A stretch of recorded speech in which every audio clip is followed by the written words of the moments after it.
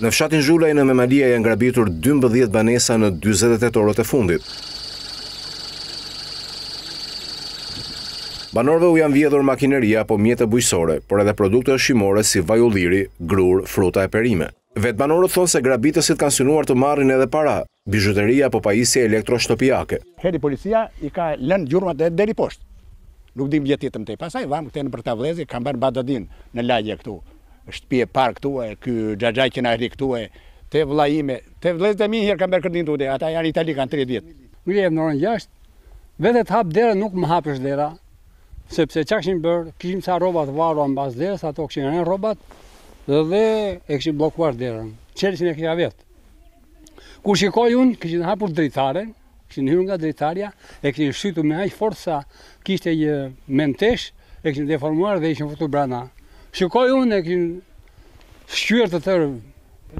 Një bidon të kuq me vaj dhe një matara 17 litra, një motosharrë. Lëre gjërat e tjera budallallëqe që kanë gjetur, e të arrijë tamam e 3 kilo fasule. S'është për të qeshur, është për të qarë. Autorët hapnin me forcë dyert e shtëpive, kryesisht ato të pabanuara. Deri më tani asnjë nga grabitësit nuk është ndaluar nga policia, ndërsa banorët shprehen të pakënaqur me punën e uniformave blu.